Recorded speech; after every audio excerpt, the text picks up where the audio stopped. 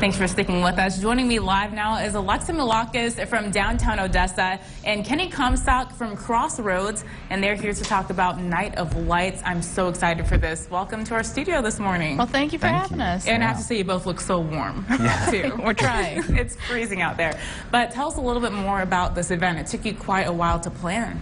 Yeah, it's something that we kind of dreamed up around 18 months ago. Last year, we had Wow. to pull the plug because of the rain. Okay. Uh, this year, we uh, kind of said, let's create a backup plan. And so we involved the Marriott. And the Marriott's been really great to work with. And so the new convention center that opened just last week, we've had the opportunity to partner with them to both floors, 30,000 square, square feet of indoor space. And so we're really excited about the possibilities tonight.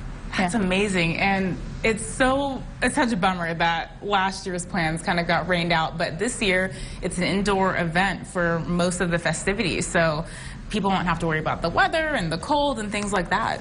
Right. I mean, we learned from last year, and this space wasn't even available last year. Like, it did Yeah. just open last week, so we're very lucky to have them in downtown, in the heart of downtown, and working with us.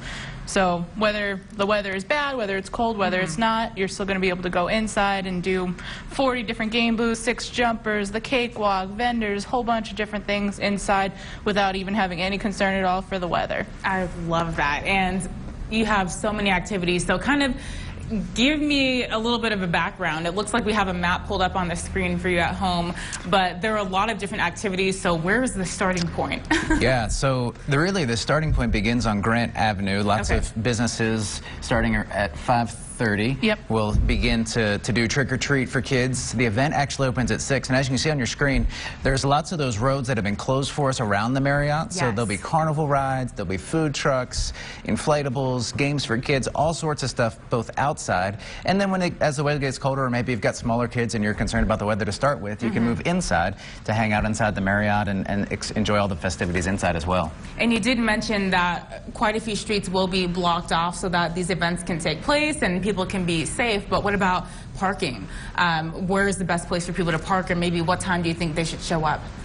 Well, there is a lot of street parking available in downtown, whether it's going to be on the blocks of Grant that aren't closed or on Lee, the different numbered streets, Yeah. uh, areas like that. But then we're also doing new this year um, a shuttle service. So you can park at three different locations and be shuttled in to the event. You can park at OHS up at 13th and Dotsy. Texas Tech has given us their parking lot for the evening, which is very, very kind of Oh, them. amazing. At 5th and Bernice. And then at the Jackrabbit statue, um, you can meet to pick the shuttle up by parking at the E ECISD uh, main building, their annex building, or Austin Elementary, which are all right there.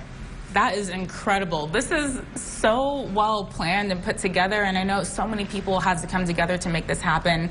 But I guess for y'all, what's the most rewarding element to putting on an event like this? Yeah, so I know tonight at 6:45 when the parking lots are full, there's people all over the place. Kids are having a good time.